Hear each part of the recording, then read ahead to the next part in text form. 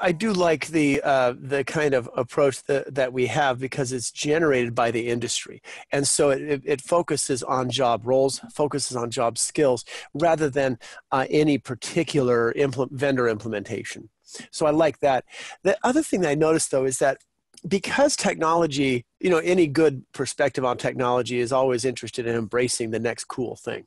Uh, whether that next cool thing be blockchain, which is what it fell into the Gartner's trough of disillusionment here, uh, you know, a few months ago. But it, will it'll fall out, come back out of that, and eventually be considered useful again. We've I've seen technologies over the last 20, 30 years, you know, go through this cycle where initially it's going to solve everything and then oh it's useless who cares?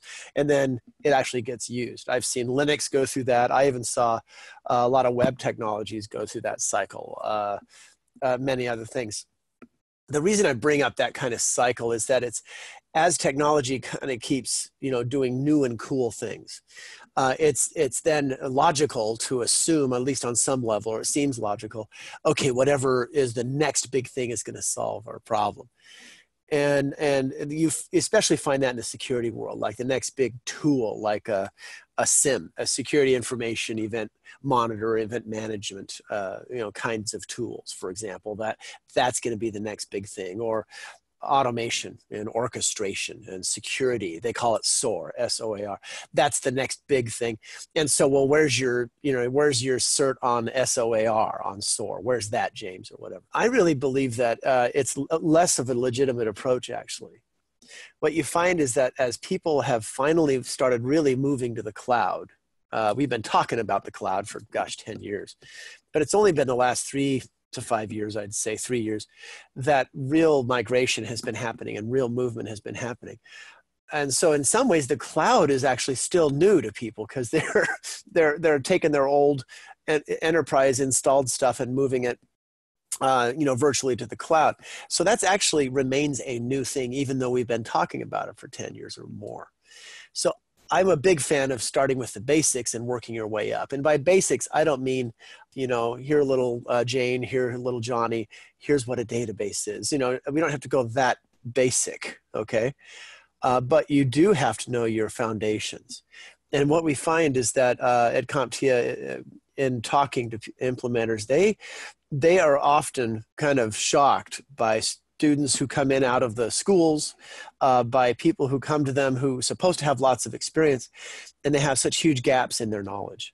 And they have not, as they've stampeded into a vendor's solution, as they've stampeded into security, or I want to learn the cloud, I'm Mr. Cloud, or I'm Mrs. Cloud. Uh, and then suddenly they realize they really don't understand how endpoints work in the first place. By endpoints, I'm you know from IoT to you know what a workstation does. If you don't know the basics of workstations of how they communicate arp and and all that you you can't virtualize those things properly. You can't troubleshoot them. So i'm a big fan of getting the foundations. Uh, my dad always used to quote a, an old movie called the music man.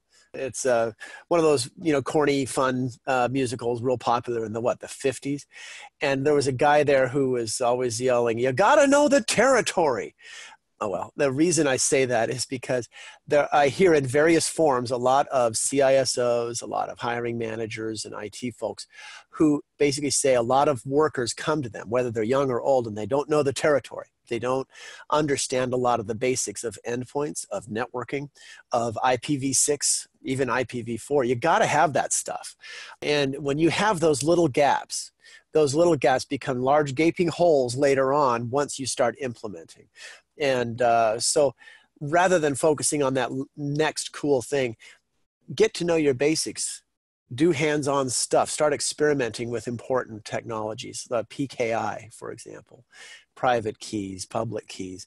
Start messing around with two factor authentication, either up in AWS or Azure or in your Linux system as you can, you know, communicate back and forth if you have those kinds of basics and fundamentals, you will do well in the future, no matter what new technology gets thrown at you.